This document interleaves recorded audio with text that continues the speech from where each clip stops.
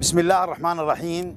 بناء على توجيهات السيد وزير الموارد المائية المهندس عون ذياب وتوجيهات مدير عام مركز انعاش الأهوار تقوم إدارة مشاريع الأهوار والأراضي الرطبة في محافظة ذي قار وبالتنسيق مع تشكيلات الوزارة المتمثلة بدائرتي الكري والصيانة بتطهير مغذيات الأهوار لغرض إيصال الحصص المائية إلى المناطق السكنية في الأهوار.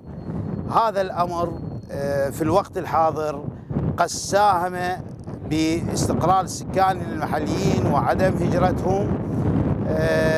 نحن الآن في قرية حشة إحدى القرى المهمة في الأهوار الوسطى.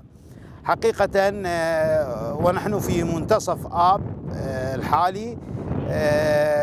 الأضرار أقل ما يمكن من الأعوام السابقة نوعية المياه مقبولة وهذا العمل جاء عبر متابعات وتوجيهات السيد الوزير لمناطق الأهوار بالإضافة إلى الكوادر الفنية لإدارة والأراضي الرطبة في محافظة ذي قار وبالتنسيق مع مديرية الموارد المائية في ذي قار.